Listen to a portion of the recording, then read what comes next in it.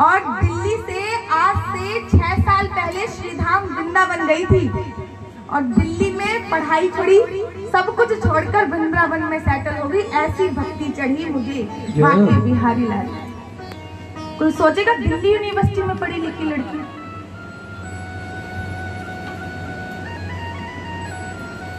और बिहारी जी ने मैंने कहा ना कि भगवान के पास जाते हो तो कुछ मांगने की आवश्यकता नहीं सब कुछ अपने आप देता है। और महाराज, इतना दिया कि आज श्रीधाम वृंदावन में मैं आश्रम नहीं कहूँगी।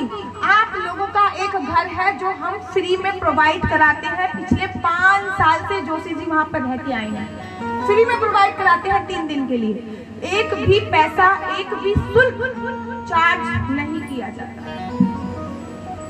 सारी सुविधाएँ हैं वहाँ पे, कूलर है, पंखे है वॉशरूम है, सब सुविधाएँ, गैस है। रोटी बनाओ और आराम से खाओ। बिहारी जी के दर्शन करो। मस्त।